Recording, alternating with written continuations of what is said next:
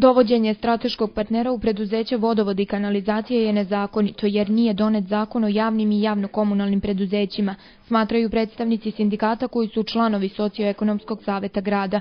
Uprkos tome, predlog o uvođenju javno-privatnog partnerstva prošao je na mala vrata skupštinsku proceduru u decembru prošle godine. Iako rukovodstvo vodovoda i predstavnici grada u socioekonomskom savetu smatraju da to nije privatizacija preduzeća, predstavnici sindikata se ne slažu. Vodovoda mogu da kažu šta hoće. Prvo, ako nekome dajete dobro na 25 godina, i to je obično kapital, on gleda profit. Šta dobijamo za ti 25 godina možemo da vidimo. Šta dobijamo posle 25 godina?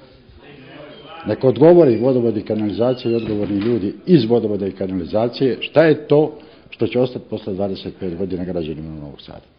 Znači za građane sigurnost bolje, bolje vodosnabdevanje, manja potrošnja, čuvanje resursa, nova tehnologija, modernija tehnologija i mirnija budućnost. Gradski budžet, ani vodovod ne mogu da isfinansiraju rešavanje postojećih problema, pa je neophodno dovođenje strateškog partnera, smatra direktor Branko Bjelajac.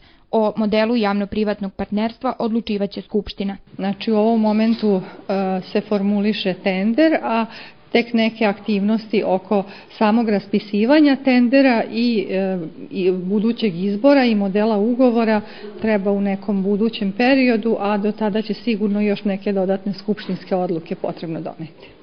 Sa ili bez strateškog partnera novosađani kubik vode plaćaju najskuplje u zemlji, a prema mišljenju direktora Bjelajca voda mora da bude još skuplja, jer vodovod ima i najviše troškove održavanja, pa je logično da voda bude skupa kako preduzeće ne bi bilo na gubitku, smatra Bjelajac.